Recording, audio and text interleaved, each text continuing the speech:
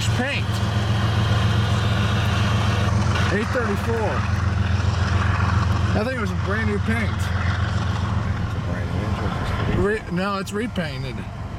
It's got the website now on the bottom.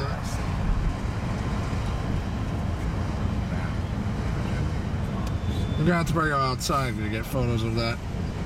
Oh, they're home for after after uh, this trip. They're home for a while. Oh, they play the Yankees at home uh, the weekend of the fourth. Then they go back on the road to play the Tigers and the Royals.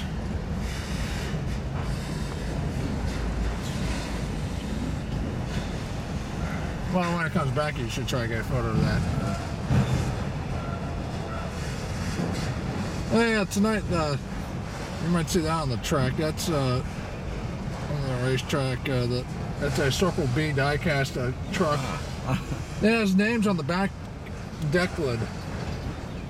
Oh my gosh. Uh, it was money. Someone bought spots to be on the car. Oh, They're like nine hundred dollars. holy crap. Who's running it? Anybody good? No, not really. That's it. If you do that, they better have a good driver That's kind of funny though. I'm not sure if they're making diecast of it.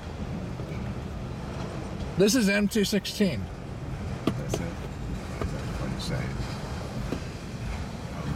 No, someone else. Uh huh.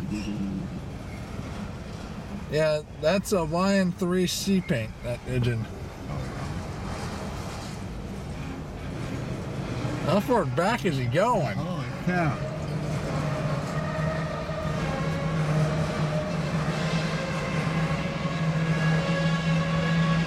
That's a lot of cars he's shoving back.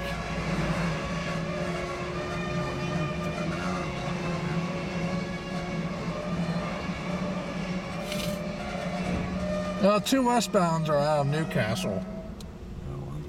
Well, it's gotta be him. It is. There's an I-137 and uh, B774. That's him. Yeah,